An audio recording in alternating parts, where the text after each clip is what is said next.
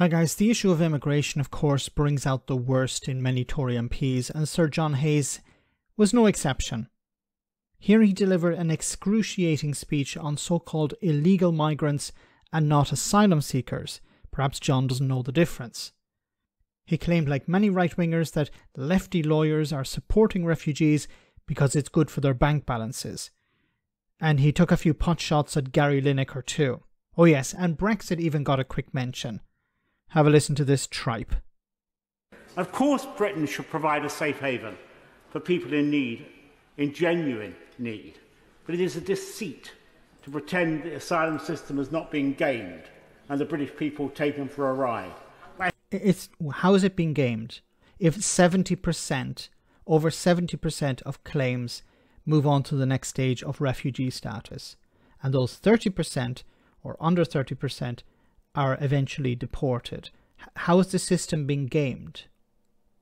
This is just rubbish. Economic migrants with no legal right to be here, enabled by fat cat law firms who've grown rich on the proceeds, aided and abetted, aided and abetted by militant interest groups who are determined to subvert the will of the people and cheered on cheered on by vacuous, self-indulgent celebrities leaving millionaire lifestyles. what sort of rubbish is this? Now, what he's trying to do is, of course, he's trying to conflate the idea of asylum seekers and economic migrants. But you would imagine he would be welcoming economic migrants because so many businesses are struggling to find the staff they need. Well, no, he doesn't. He's not cheering that on because he supported Brexit, and he still thinks Brexit is a good idea. So it's it's better that businesses are struggling. It's better that the NHS can't get the workers it needs, that care homes can't get the workers they need, that abattoirs, farmers, all of these, hospitality can't get the staff that are required to continue to operate. That's what he wants. He wants them to be in that situation. But asylum seekers are a completely different issue. Why are you conflating the two? Ah, is it because you either don't know there is a difference or you want the public to believe that there isn't a difference? It may be uncomfortable.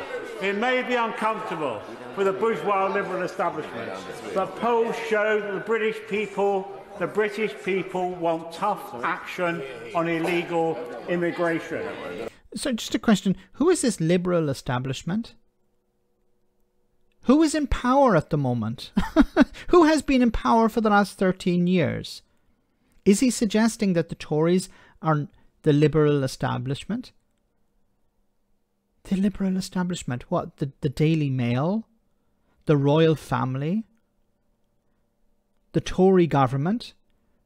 If these these are the establishment and you're referring to them as the liberal establishment, who is in charge? Oh, God. Indeed, polling last week showed that people support the principles of this bill. Mr Speaker, Benjamin Disraeli said justice is truth in action. Today, the government is giving voice to the true wish of the British people to restore justice to our immigration and asylum system.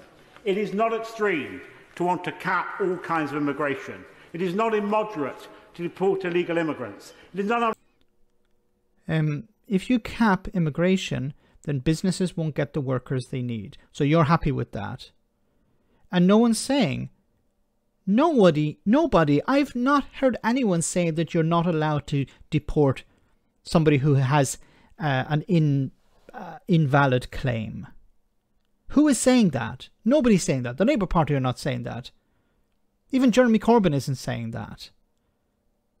Wh who's saying this? That yes, the no country should be allowed to deport anyone. Rubbish. Unreasonable. It is not unreasonable to give the government the tools they need to do just that. It is time to take back control of our borders. It is time to stop the boats. it's time to take back control. Um, this is a Brexiteer. I thought you took back control. I thought Boris Johnson got Brexit done. So when are you actually going to take back control? When is Brexit actually going to happen? Because the Brexiteers say that Brexit has happened, but then other Brexiteers are saying, no, it hasn't happened yet. Somebody's lying. Let me know in the comment section, guys, what you think about all of this. As always, your comments are greatly appreciated. Thanks a lot.